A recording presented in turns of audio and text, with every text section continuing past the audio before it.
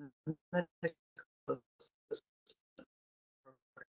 director at Alpena Community College, but I also teach for another program called Medical Information Specialist.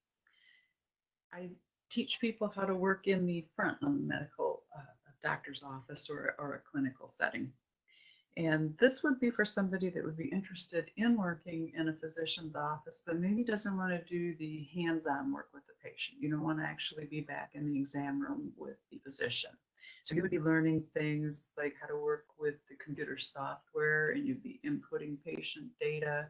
You'd be learning a little about uh, how to do insurance billing and doing some with the, the coding and you'd be greeting those patients when they came in, doing a lot of talking with them on the phone and getting them set up, um, like new patients, getting them set up to be able to see the physician. Um, you might even be doing a little bit um, more specialty. Maybe you'd be just working with the billing.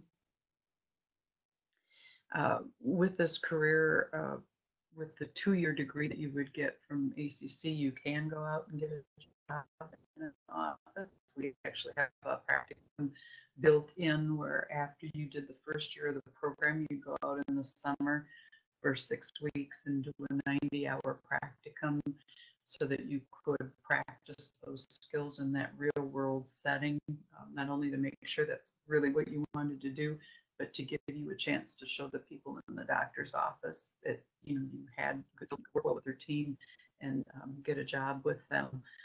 Um, but if you decided you wanted to go on beyond the, the two years of training ACC, you could go on uh, to do uh, a four-year degree in um, health informatics, and that would lead you more to being someone on a level of an administrator working with a, a large practice.